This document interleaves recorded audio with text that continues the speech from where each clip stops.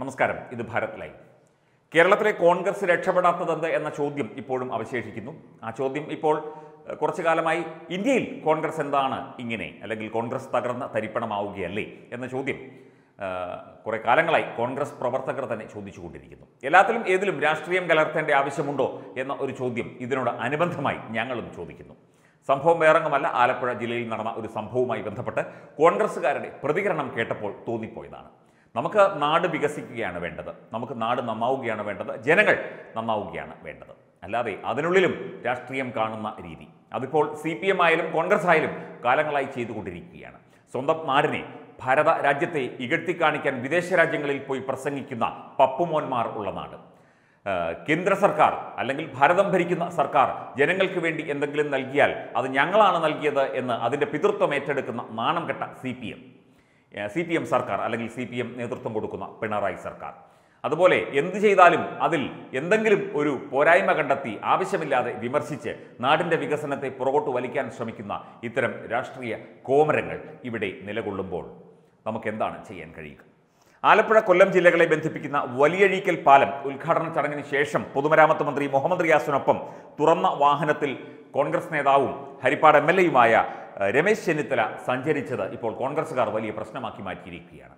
ഒരു മന്ത്രിക്കൊപ്പം ഒരുമിച്ച് ഒരു നിയമസഭയിൽ ഒരു റൂമിൽ ഇരിക്കാമെങ്കിൽ വിവിധ ബ്ലോക്കുകളായിട്ടാണെങ്കിൽ പോലും ഇരിക്കാമെങ്കിൽ ഒരു വാഹനത്തിൽ മന്ത്രിയും എം എൽ എയും സഞ്ചരിച്ചാൽ ഈ കോൺഗ്രസ്സുകാർക്ക് എന്താണ് ഇത്ര ചോർച്ചിൽ കാര്യം പി എ മുഹമ്മദ് റിയാസ് മുഖ്യമന്ത്രിയുടെ മരുമകനാണ് സി പി എംകാരനാണ് എന്നതിലുപരി അദ്ദേഹം സംസ്ഥാനത്തിന്റെ പൊതുമരാമത്ത് മന്ത്രിയാണ്. രണ്ടുപേരും കൂടി ഒരുമിച്ച് ചേർന്ന് ഒരു വേദി പങ്കിട്ടതിലോ ഒരുമിച്ച് ഒരു തുറന്ന വാഹനത്തിൽ സഞ്ചരിച്ചത് കൊണ്ടോ എന്താണ് കുഴപ്പം വരാനിരിക്കുന്നത്? സത്യം പറഞ്ഞാൽ അതിനെ പ്രോത്സാഹിപ്പിക്കുകയല്ലേ വേണ്ടത്? ആഡംബരക്കാറിന്റെ സൺറൂഫിലൂടെ ജനങ്ങളെ അഭിസംബോധന ചെയ്ത് നീങ്ങിയ പൊതുമരാമത്ത് മന്ത്രി പി എ മുഹമ്മദ് റിയാസിന് ഒപ്പമായിരുന്നു ചെന്നിത്തല. എന്നാൽ കാറിന്റെ ഡോറിൽ തൂങ്ങിയുള്ള ചെന്നിത്തലയുടെ നിൽപ്പ് പാർട്ടി പ്രവർത്തകരെ പ്രകോപിപ്പിച്ചു. മുഖ്യമന്ത്രി പിണറായി വിജയനാണ് കഴിഞ്ഞ ദിവസം ജനങ്ങൾക്ക് ഈ വലിയഴീക്കൽ പാലം തുറന്നു കൊടുത്തത്. അതിനുശേഷമായിരുന്നു ചെന്നിത്തലയുടെയും മുഹമ്മദ് റിയാസിന്റെയും റോഡ് ഷോ. പിന്നാലെ ട്രോൾ ഗ്രൂപ്പുകളിൽ ഉൾപ്പെടെ ഈ വിഷയം ചർച്ചയാവുകയായിരുന്നു. അതുപോലെ തന്നെ ആലപ്പുഴയിൽ ആറാട്ടുപുഴ പഞ്ചായത്തിലെ തീരദേശ മേഖലയായ വലിയഴീക്കലിനെയും കൊല്ലം ജില്ലയിലെ ആലപ്പാട് പഞ്ചായത്തിനെയും ബന്ധിപ്പിക്കുന്ന തീരദേശ ഹൈവേയുടെ ഭാഗമാണ് വലിയഴീക്കൽ പാലം. ഇതാണ് ജനങ്ങൾക്കായി തുറന്നു കൊടുത്തത്. അപ്പോൾ ഈ ഒരു സംഭവത്തിൽ രമേശ് ചെന്നിത്തല പങ്കെടുത്തതും മുഹമ്മദ് റിയാസിനൊപ്പം കാറിൽ സഞ്ചരിച്ചതും ഒക്കെ വലിയ ബുദ്ധിമുട്ടായിരിക്കുകയാണ് കോൺഗ്രസ്സുകാർക്ക്. സി പി എംകാരും ഒന്നും പറഞ്ഞില്ല. എന്താണ് സംഭവിക്കുന്നത്? ചെന്നിത്തലയോട് ചോദിക്കുന്നു. പി എ മുഹമ്മദ് റിയാസിന്റെ ബോഡി ഗാർഡാണോ ഗൺമാനാണോ Ramesh Chennithala M L A എന്നൊക്കെയാണ് ചോദിക്കുന്നത്.